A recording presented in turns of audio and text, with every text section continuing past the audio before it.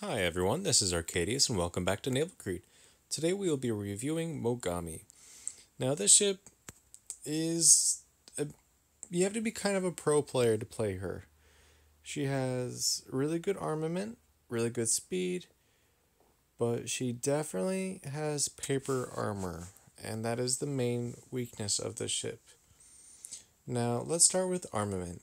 You either have you have 15 guns of 155 millimeter, which to me are some of the strongest in the game. The secondaries on the Yamato class battleships can easily score citadels on cruisers with their 155s, and the ones fitted on the Mogami class are no different. However, Mogami is special in the way that it can actually equip two sets of armament. You can either have the 15 6 inch guns, or you can equip what's this 10 8 inch guns as well? It depends on your preference. Now personally i always go with the 155s you have 15 shells which are really high velocity and really powerful. And if you wanted 10 8 inch guns then you might as well just go with Myoko which is at the same tier. And it comes with the same exact equipment. Now torpedoes.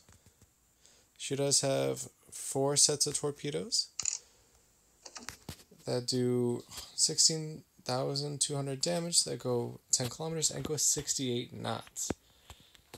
And these are four triple torpedoes. You have six to a side. However, the arcs for them are only rear facing, which is one of the draw- main drawbacks of Japanese cruisers. However, the other one is the armor. You only have a maximum armor of 140 millimeters. That is not a lot. That is just over five inches. It's not, it may be about five and a half.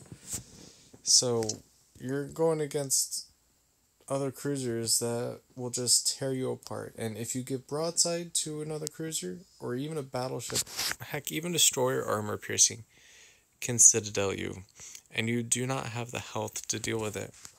Another drawback is anti-aircraft armament.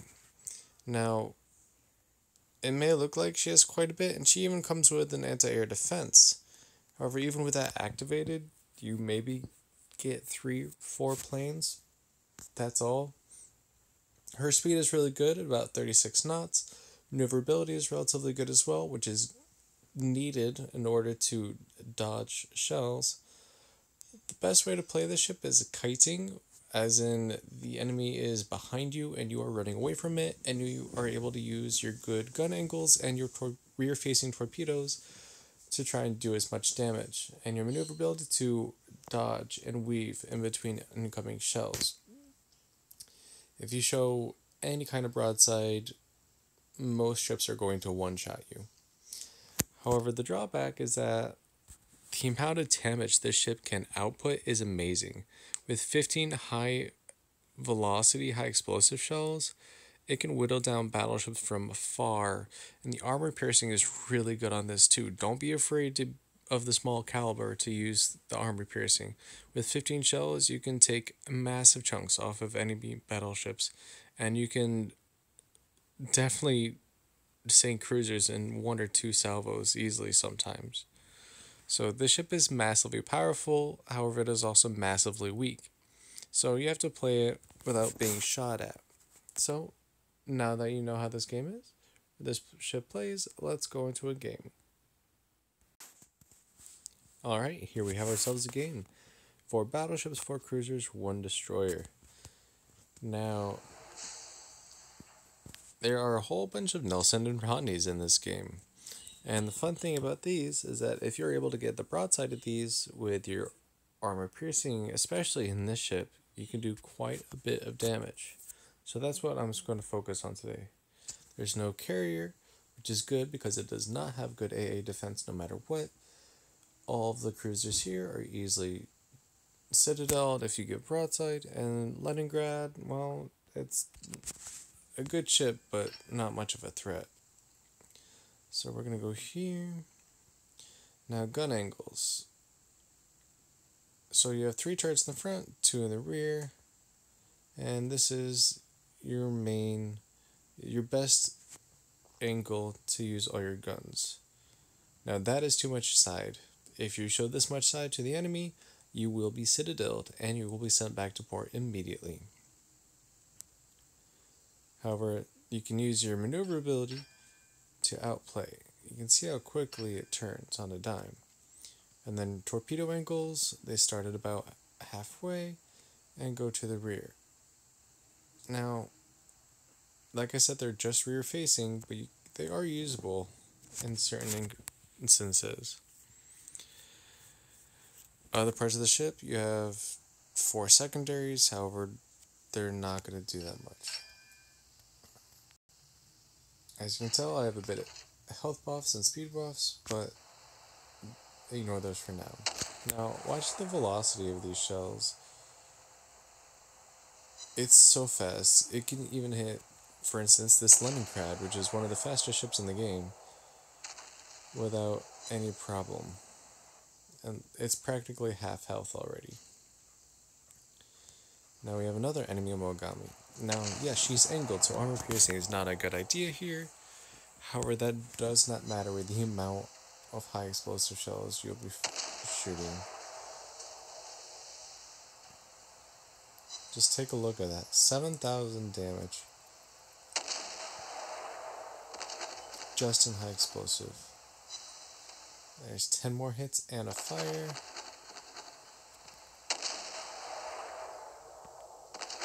Leningrad came back.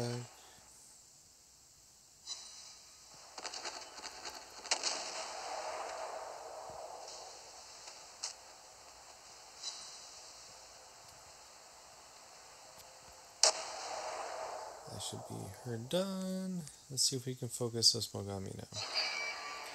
Now I'm giving a lot of broadside. If you, if you were actually playing against other players, if you did the exact same thing I'm doing right now, you would most likely already be dead.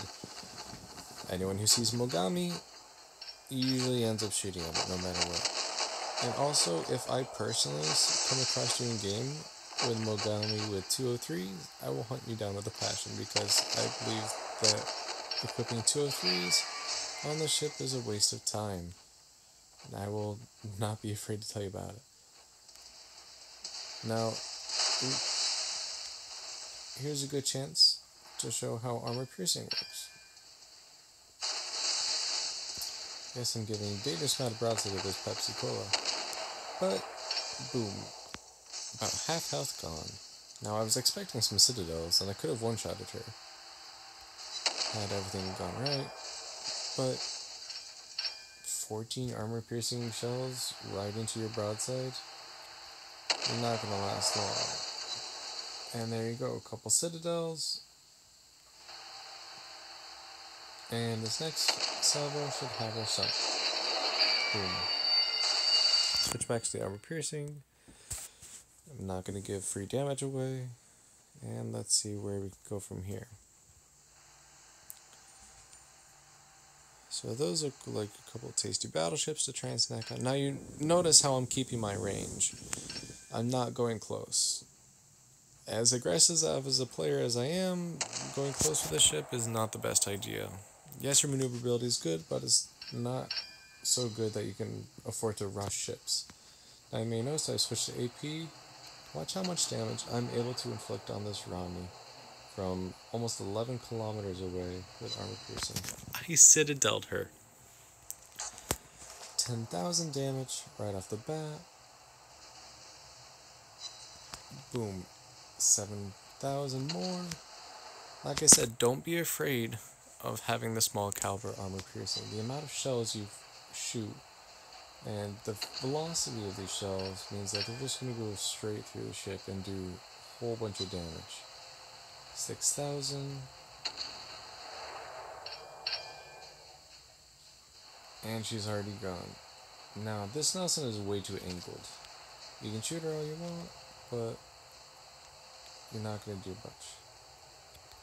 Now, with your high velocity shells, you are able to shoot all the way out to this, at this range, and not have to worry about it. Oh. Presenting a better angle.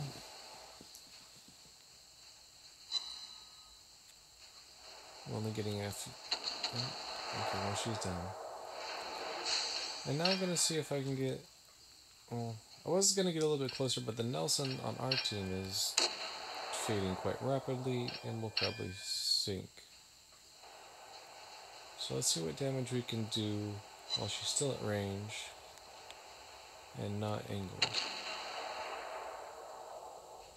This ship excels at range.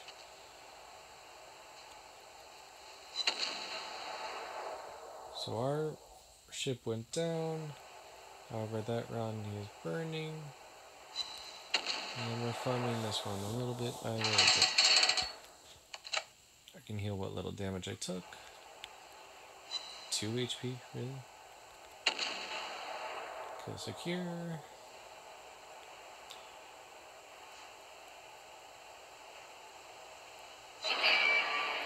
Yeah. And I want to make sure my rear turrets are still have good angles. I could switch to high explosive, and I am kind of thinking about it, but I was expecting her to turn to the left. Or the right, I mean. Now she's getting towards the end of the range, so let's try and reach her again. Now I did not get a chance to use torpedoes in this game. But like I said, they are 10 kilometer. The arcs are pretty bad, but they do do a, quite a bit of damage if you need them. And I have rushed ships in this before, especially battleships. You do take quite a bit of damage if you're focused. However, if you survive and are able to get on their broadside, you can definitely one shot them with your torpedoes. Six torpedoes to a side, 16,000 damage to a pop is pretty impressive. Now you'll notice that when I'm facing directly ahead, the number 2 turret is not able to fire over number 1 turret. You'll find similar playstyles with Ibuki and Worcester.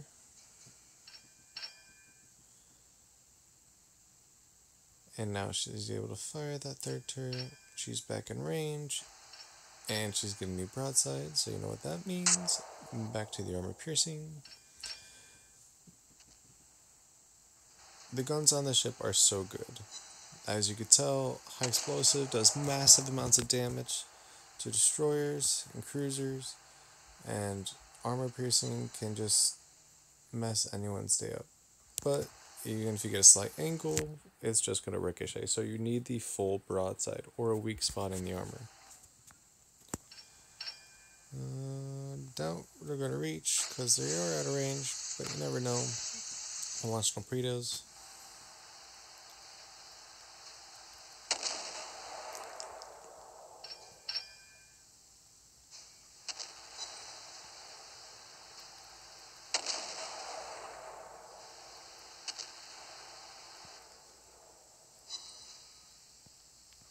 Thousand damage. Yeah, she'll go down way before any torpedoes down. But you can just see the amount of damage that the ship gets per salvo. It's amazing. And I may even want to see if those torpedoes finish her off.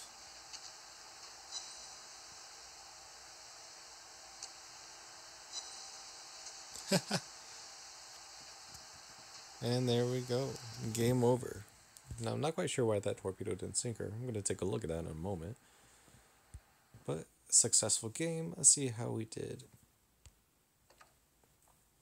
167,000 damage, so not much damage, but 4 ships sunk, 362 shell hits, 1 torpedo hit, 2 aircraft shot down, 3 citadels, 5 fires, 1 flood, 3 defended cap, and 10 secondary hits.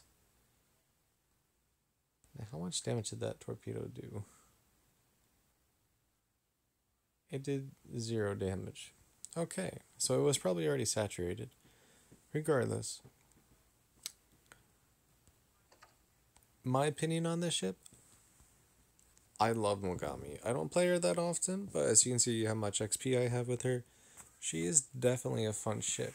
Now, I did stay at range, so I was not focused on by any means. But that one time where I was being shot at by the Pep- Pensacola, if he had armor piercing loaded and fired it right into my citadel here, I could have one shot him. me without a doubt. These ships are really, really weak to any kind of shell being fired at them. But the the trade-off is the amount of damage that they can inflict. So if you have what it takes to be a Japanese cruiser player, then you may really, really like her. I personally won Mogami from a container, so I never actually had to purchase her. And I was really looking forward to getting her too, so I was really excited when I did. So, whether or not you purchase her is up to you. However, if you're looking for a fun ship that is OP in certain areas and overpowered in some other areas, then she is definitely a fun ship. Good guns, good torpedoes, bad armor, bad AA. Those are the main drawbacks for this ship and pros and cons. Thank you for watching my video and take care.